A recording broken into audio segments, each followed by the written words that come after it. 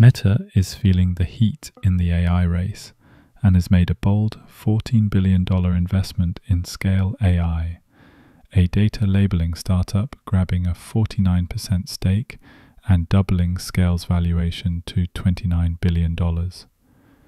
While Scale remains technically independent, Meta now holds major influence thanks to its close ties with CEO Alexandr Wang, who orchestrated the deal to reward employees and maintain autonomy. Meta's real goal? Talent acquisition, not just business synergy. This move mirrors how Google and Microsoft secured key AI talent through investments, not just product alignment.